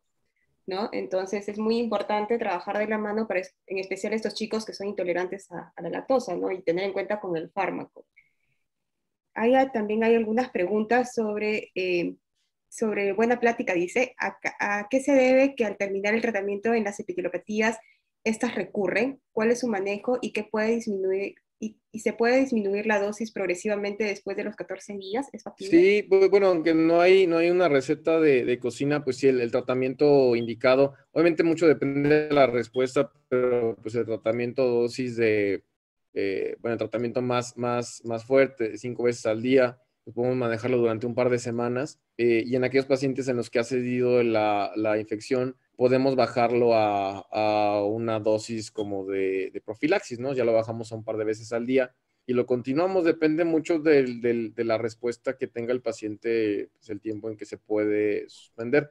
Siempre puede haber reactivaciones, ¿no? Entonces, eh, hay, hay ciertos criterios también como para buscar un poquito más o indagar más en, pacientes que tienen herpes en ambos ojos o pacientes que tienen reactivaciones como más frecuentes. Creo que sí hay que indagar un poquito más si, si la persona tiene alguna cuestión inmune, eh, pero pues bueno, realmente cualquiera, nadie está exento del herpes y, y, y, podemos manejarlo en muchas ocasiones con este esquema seguro para evitar la mayor tasa de infecciones o de recurrencias. Tener en cuenta que el 90% de los pacientes mayores de 50 años van a ser positivos a herpes. Entonces, y en nuestros países latinoamericanos, con un sistema de salubridad un poquito más bajito, es mucho más frecuente. Sobre la profilaxis de, de, con aciclovir, ¿no? En pacientes que van a entrar a cirugía, ¿no? Muchas veces eh, le damos, usted, tú recomiendas, ¿no? Que se de antes, cuánto tiempo hasta que termines la terapia del corticoide postquirúrgico, o le alargas un poquito más el, el aciclovir profiláctico sistémico. Pues como, como similar a lo que mencionaste ratito, previo, eh, sí es posible, ¿no? A veces es, difícil por la dinámica, pero siempre que se puede, no, no, creo que esté de más. Sí es bien importante, yo sí lo dejo como profilaxis en, en pacientes que sí tienen como el, el, cuadro clásico, ¿no? Del antecedente herpético. Este, y, y, como bien dices, yo lo relaciono mucho con, con, la respuesta inflamatoria, o sea, si, si voy haciendo una reducción, una dosis reductiva de los esteroides tópicos, eh, logré disminuirlos o logré pues, eliminarlos, creo que en ese momento tenemos un perfil bastante seguro para, para evitar la, la, recaída y, poder suspender la profilaxis. Eh, es, depende mucho también del, del, tipo de cirugía y cuánto tiempo, eh, y bueno, la inflamación que generó la cirugía, ¿no? Yo creo que un dato supremamente importante también en lo que es el diagnóstico, ¿no? Porque también pueden aparecer como algún otro simulador, pero Muchas veces nosotros en, en, la consulta, como para avanzar, llega el paciente y le metemos la fluoresceína con una gotita de, de, anestésico, ¿no? Y tener en cuenta que la hipoestesia, ¿no? De la superficie ocular que nos va a dar el herpes, muchas veces es la clave para el diagnóstico. ¿Usas siempre alguna tinción en especial? ¿Lo tiñes con rosa de bengala para ver los bulbitos y fluoresceína o solo con la fluoresceína basta? Para no. diferenciar entre una dendrita y una pseudodendrita. Siempre, siempre que, que se, está, ten, se tiene disponible, bueno, lo más accesible, al menos acá, es la fluoresceína. Este, sí me gusta mucho usar la, la rosa de Bengala. Eh, obviamente depende mucho de las características, ¿no? Si, si, es un cuadro clásico, pues a veces hasta te asomas y lo ves y sin que, sin que ya teñirlo ya se ve ahí la dendrita. Este, pero bueno, siempre si, si quieres indagar un poquito más o, o, analizar un poquito más la morfología, pues le pones eh, la rosa de Bengala yo sí soy mucho de analizar la, la, sensibilidad, aunque les digo, no es, no es, un, no es una, eh, no es igual a falta de sensibilidad, igual a herpes, este, eh, pues sí me gusta mucho. Yo uso el, el, de los pobres, que es un cotonete, eh, hago una pequeña brita y con eso hago pruebas a lo largo del ojo. Este, y, sí recordar que sobre todo aquellos herpes que, que son, son, o sea, la, la, sospecha clínica tiene mucho, mucho que ver, ¿no? O sea, yo, yo recibí una paciente, recuerdo mucho una paciente tratada por mucho tiempo como acantamoeba, porque es un cuadro muy, muy característico, este, eh, eh, pues una, que realmente tenía un, un herpes, ¿no? Entonces el, el, el, problema es que si a veces no, no se sospecha y se empieza a hacer eh, todo el abordaje y, y no tienes la, la sospecha diagnóstica, pues se te puede pasar el diagnóstico certero, ¿no? Comentando algo, algo parecido, este, mencionaste que en pacientes que encuentres eh, hipertensión ocular, eh, hay que siempre sospechar que puede tener este herpes, ¿no? Sobre todo si es unilateral, pero a veces la situación también está un poco confusa o un poco enmascarada, ¿no?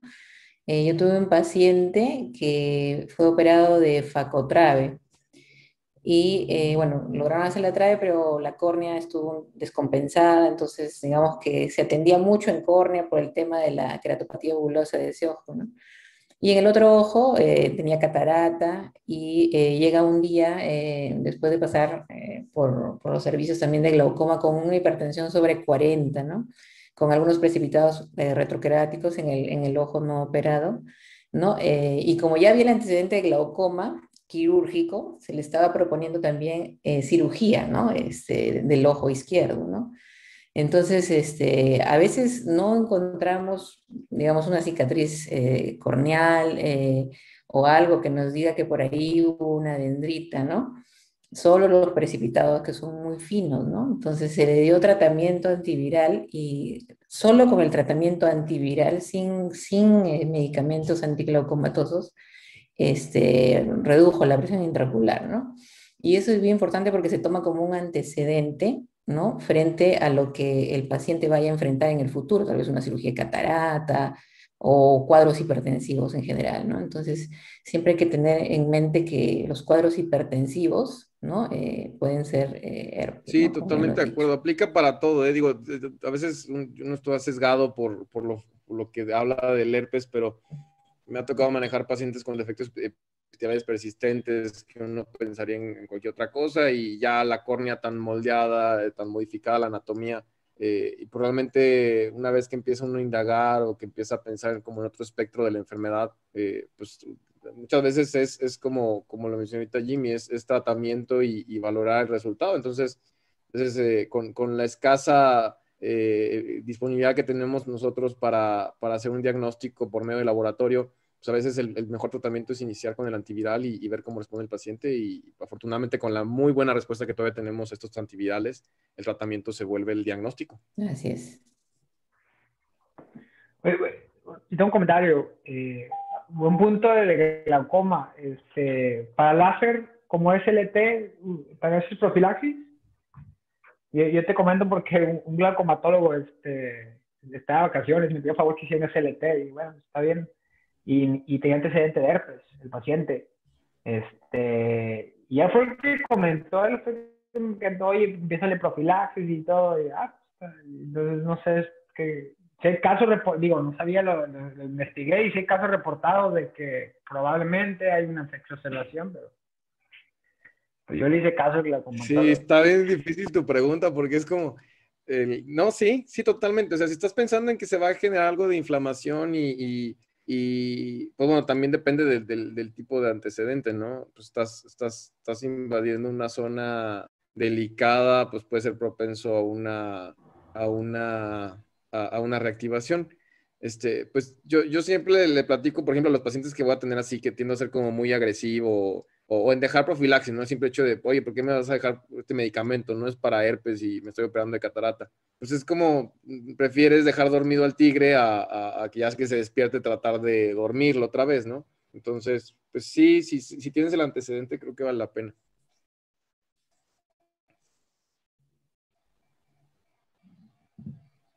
Acá hay una pregunta eh, sobre el tema de las vacunas. ¿no? Dice, ¿ustedes recomendarían la vacuna para herpes zóster para evitar las recidivas? Fíjate que a lo mejor me gustaría que Jimmy contestara esa pregunta. Yo no tengo tanta, tanta experiencia aquí en, en, al menos en, en, México, en el medio no hay, no hay, no hay tanta disponibilidad. Sé, sé por, por literatura que, que, pues es algo extremadamente importante de recomendar, ¿no? Pues la, la, vacuna es muy importante, o sea, este, o sea, como toda vacuna, ¿no? Este, eh, ayuda, ¿no? Este, pero el, en cuanto a la evitar recidiva del SOSTER no está todavía en clinical trials, está ahorita en clinical trials, en set study, ¿no? Este, que está investigándose ver si, este, si la dosis profilaxis de Valtrex, este, a dosis de profilaxis, este, que es uh, un gramo uh, por día, este, si hay de recidiva. Al igual que, ¿no? que, en Ciplex, ¿no? que es la, la dos veces al día, ¿no? Pero en Soster hay estudios pequeños este, que sí hay, sí hay beneficio, pero no hay un, un, estudio formal, que es el que se está haciendo ahorita, este, del NIH. La vacuna, yo siempre la recomiendo, la verdad sí hay estudios que hay una disminución, no, no, en especial la neuropatía, ¿no? La neuropatía, eso sí ayuda a, los efectos secundarios, ¿no? De la neuropatía de post-Oster. Este, yo siempre recomiendo los estudios y sí hay estudios que dicen que hay disminución, pero no hay grandes estudios específicamente, ¿no? En cuanto ocular. Que yo sé.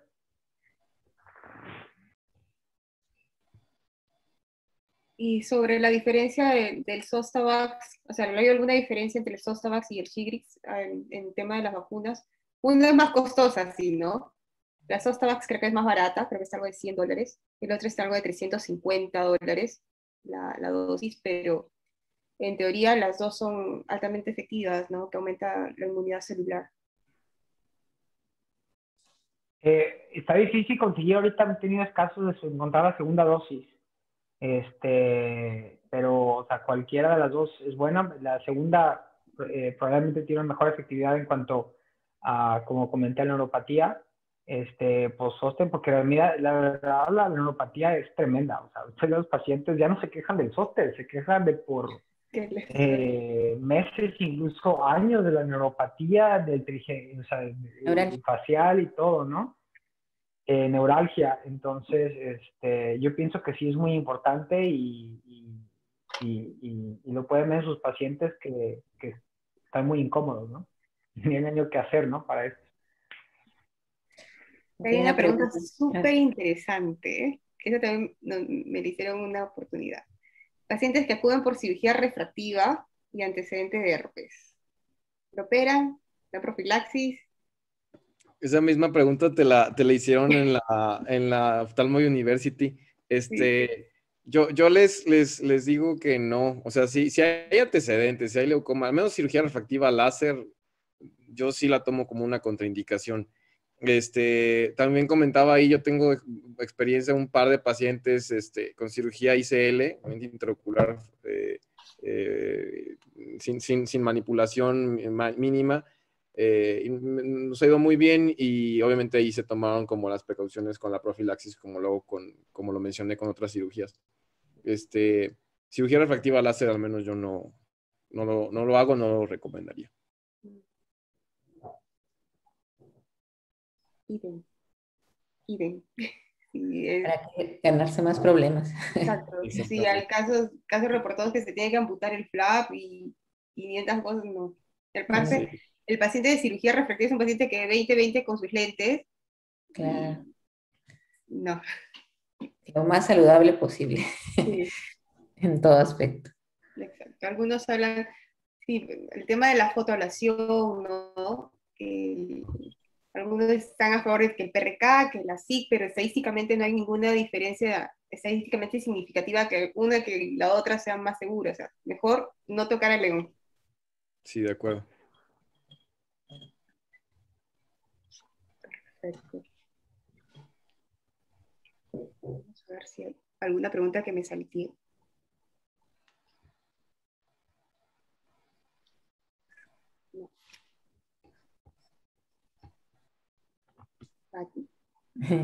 Bueno, ya no, no, tenemos más preguntas. Agradecer eh, infinitamente a Juan Carlos y a Jaime por sus brillantes exposiciones, eh, por la predisposición ¿no? a, contarnos su experiencia. Eh, de hecho, ha sido muy valioso para todos los que hemos presenciado esta, esta sesión y eh, comprometerlos también a participar en otras que, que, puedan aparecer por ahí.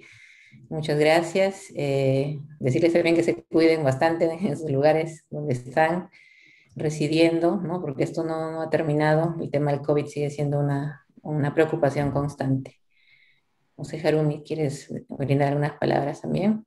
Bueno, muchísimas gracias. Realmente sabemos que, los tiempos son complejos ahora. Eh, nosotros nos alegramos de, de, haber tenido a dos grandes mexicanos y que están jóvenes y que están sobresaliendo cada vez más en, a nivel oftalmológico, ¿no? Y compartir su, experiencia, que es valiosísima. Es, todita su, sus presentaciones han sido impecables, todo basado en la evidencia científica, ¿no? Que, que eso siempre está de la mano con la, con la parte oftalmológica. Muchísimas gracias y eh, confirmo también lo que dice la doctora Patricia. Por favor, vamos a mandarles otra invitación probablemente para alguna de estas charlas.